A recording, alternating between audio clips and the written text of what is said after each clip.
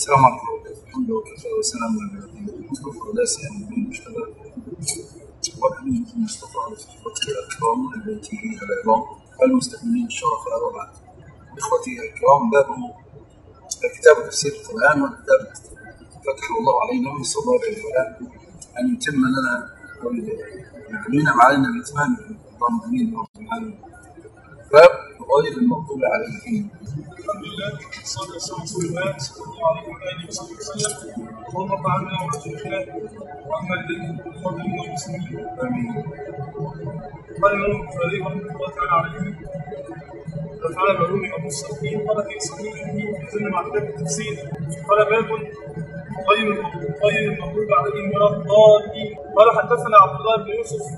أبو موسى مسقط الأثبات وراء الجماعة أخبرنا مالك. مالك النجم. إذا إذا ذكر الحديث مالك النجم. قال عن سمي. مولى من؟ من وراء الجماعة قال عن أبي صالح. صالح الزيات السمان. وهو من أروى الناس عن أبي هريرة رضي الله عنه. وارضاه أبي هريرة رضي الله عنه. وأبو هريرة سيد السبعة المثلين عن أبي أمين أن رسول الله صلى الله عليه وسلم قال إذا قال الإمام غير المغضوب عليهم ولا الضالين قولوا آمين فمن وافق قوله قول الملائكة غفر له ما تقدم من ذنبه. نعم هذا الحديث عظيم جدا فيه أمور وهذا الأمر هو أن الإمام يقول غير أن الإمام يقول وآمين لأنه ولكن في هذا الحديث قال مالك واستدل به أن النبي قال إذا قال الإمام غير المغضوب عليهم ولا الضالين فقولوا آمين. قال فمن وافق قول قول الملائكة ما تقدم من ذنبه ورد في رواية أخرى غير هذه الرواية وأنه أن الإمام يقول آمين. وفي حديث أبي هريرة قال لا تسبقني بآمين. وقد قال النبي صلى الله عليه وسلم إنما جعل الإمام يسمى به. فهم لا يقولون أمين وهو, وهو لا يقول أمين. هم يأتمون به أصالة. فالإمام أيضا يقول أمين والمأمومون يقولون أمين. فإذا وافق قولهم قول الملائكة وهذه الموافقة تتأتى بالتمسك بالسنة. إذا أتيت بالسنة على وجهها تكون وافقت الملائكة بذلك لأنك تنتظر إلى أن يقول ولا الضالين. نعم. على المد أنت تقول أمين وأنت تسمعه وهو يقول أمين فتوافقه بذلك. وموافقة الإمام موافقة للملائكة. كما قلت السنة هي التي تجرك إلى إلى الموافقة. في في في قول غير المغضوب عليهم قال النبي صلى الله عليه وسلم هم اليهود ولا الضالين هم النصارى. هذا خرج الطبراني عن رجل له له له صحبة. وكذا قاله ابن عباس. وجماعة وورد أيضا مرفوعا. والحقيقة بأن المغضوب عليهم هم يهود لأنهم قوم لعنهم الله جل في علاه.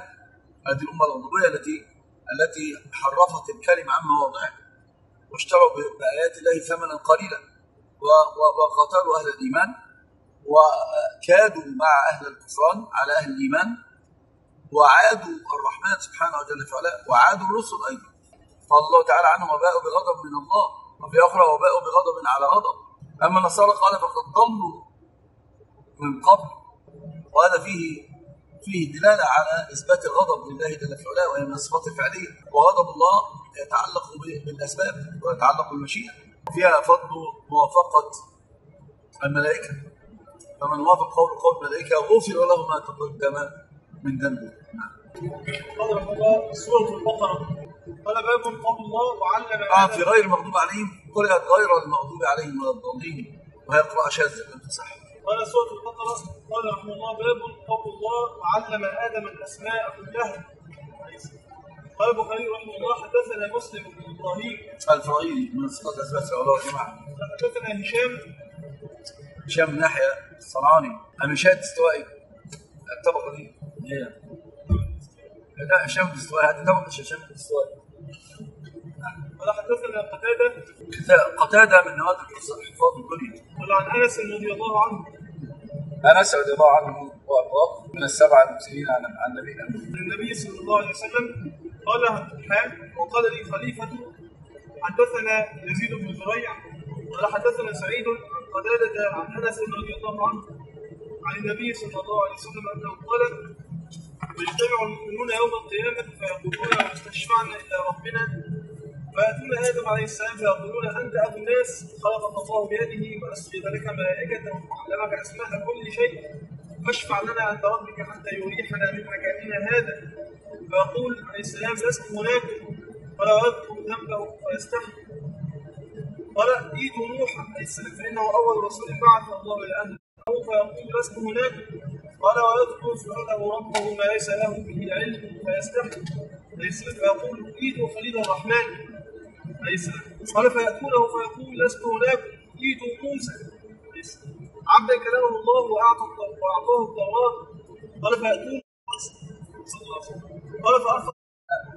هي أول سورة أنزلت المدينة إلا قوله واتقوا يوم ترجعون فيه إلى الله. وآيات الربا. وقيل إنها مكية واحد اسمه سورة ماهك عن عائشة رضي الله عنها وارضاها ما نزلت سورة البقرة والنساء إلا وأنا عنده. فأنا أقول إن ما, نزلت سورة البقرة آل عمران آه، والنساء إلا وأنا عنده يعني مع ذلك في المدينة. مع ذلك في المدينة. أخذ منها قوله تعالى وعلم آدم الأسماء كلها بأن الله علم آدم وهذه أيضا فيها أن الله تعالى يعلم ما كان وما يكون وما لم يكن لو كان كيف كيف سيكون؟ وأن المرء لا يصل العلم إلا برحمة الله جل في علاه يعني من لم يعلمه الله فلا علم له. وقد قال النبي صلى الله عليه وسلم في حديث الشفاعة الطويل وأنهم يذهبون إلى إلى إلى آدم عليه السلام فيقول أنت الذي خصك الله خلقك بيده من فضيل من روحه وأسجد لك الملائكة. كما كما قال تعالى وتقول الملائكة اسجدوا لآدم فسجدوا إلا إبليس فيقول له أنت أسجد لك ملائكته فيقول نفسي نفسي إني أكلت من الشجرة فأذكر ذنبا ثم أقول اذهبوا إلى نوح لست هناك. ونوح يقول إني سألت إني سألت ربي ما ليس لي علم. فاذهبوا إلى إبراهيم. إبراهيم أبو الأنبياء. يذكر ثلاث كلمات في حق الله جل في علاه. ثم يقول لست هناك. لست هناك. منع الله جل علاه أي أحد. يشفع إلا إلا لمن ارتضى وكان بإذنه. وإبراهيم قال اذهبوا إلى موسى كريم الله. فذهبوا إلى موسى قال أنت الذي سبق الله برسالتي وبكلامي وأنت كريم الله. قال لست هناكم فقدت نفسا زكية بغير نفس.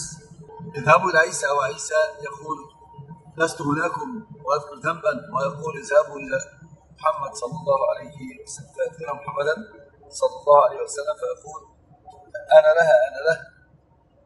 يقول ف- فأستأذن ربي في- فيأذن لي. رأيت الله جل وعلا خرجت ساجدا فأحمد الله بمحمد على بنيها الآن ثم قال يا محمد ارفع رأسك وستعطى واشفع تشفع وقل يسمع فقال يا محمد ارفع رأسك وستعطى واشفع تشفع فيشفع. وحد لو حد من أهل النار فيخرجوا من من النار. ويذهب مرة ثانية ثالثة حتى يقول النبي صلى الله عليه وسلم ليس ليس هناك أحد إلا من حبسه من القرآن. وهذا في قوله تعالى خالدين فيها أبدا. وهؤلاء أهل الشرك والكفر. وهؤلاء لا فضل لهم ولا ولا عفو بل هم سيدخلون جهنم داخرين ويخلدون في نار جهنم أعوذ بالله من الخذلان الفوائد المستنبطة من ذلك. فضل نبينا على سائر الأنبياء أن الله لم يقبل شفاعة أحد قط إلا محمد صلى الله عليه وسلم. فضيلة محمد صلى الله عليه وسلم بأن الله لم يقبل شفاعة إلا منه وقد غفر الله له ما تقدم من ذنبه وما تأخر وجوب الإحالة على أهل الفضل. وجوب الإحالة على على أهل الفضل. يا طالب العلم قم لا تنم فإن الزمان أيا طالب العلم قم لا تنم فإن الزمان انقضى وانصرم. فكن ما حييت ضنينا به فظنك بالوقت عين الكرم. وكن حلس درسك وافرح به. تكن قائدا في غد للأمم وبادر شبابك من قبل أن يقطع عزمك سيف الهرم. ودع ما استطعت فضول اختلاط وأكل ونوم وقول يذم. وصاحب نبيلا ولا تكثرن فكم مكثر يا أخي حرم؟ وحقق إذا رمت شيئا ولا تسمن بوهمك ذات الورم. رأيت العلوم وأصحابها لدى كل ذي فطرة تحترم فإن رمت يا صاحبي رفعة بدنيا وأخرى فلذ بالقلم وأخلص لربك واعمل بما علمت وإن تلقى فيه الألم. وصابر وثابر ولا تكسلا فإن الهموم بقدر الهمم. فإن الهموم بقدر الهمم. عليهم